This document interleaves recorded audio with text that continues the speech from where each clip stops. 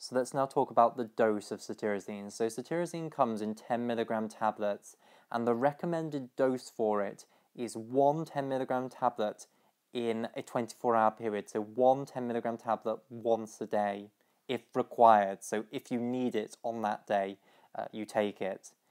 If you have a chronic condition that means that you are itching every single day, then it might be a case that this becomes a regular medicine for you that you take every day in the morning to prevent you from itching.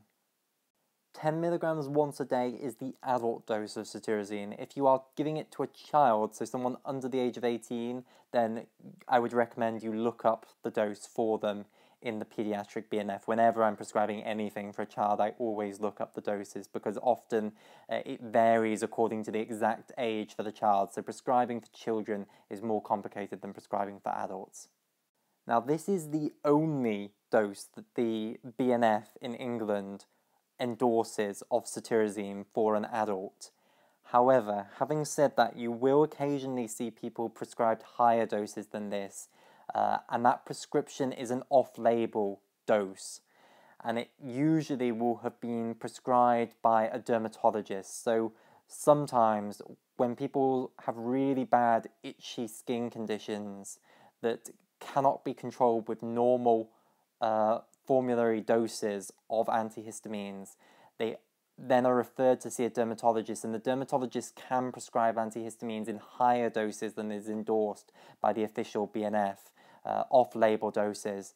So, cetirizine, you can actually see doses of up to four tablets in a 24 hour period, so you can see doses up to 20 milligrams twice daily. I would never prescribe a dose like that. I wouldn't recommend you prescribe a dose like that unless you know exactly what you're doing and you are a dermatologist.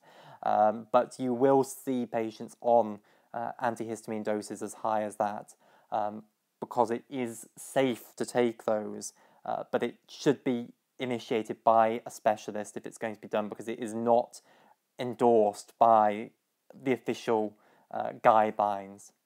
So I've written this down here. So you can see people on these larger doses, and the maximum dose you'll ever see someone on for cetirizine will be 20 milligrams twice daily. So a maximum of four tablets in a 24 hour period, and that's an adult, not a child. But I will stress again that the maximum dose any junior doctor should ever be prescribing of cetirizine would be 10 milligrams once a day. Any higher than that is not supported by uh, the guidelines for how to prescribe this drug and should be initiated by someone more senior.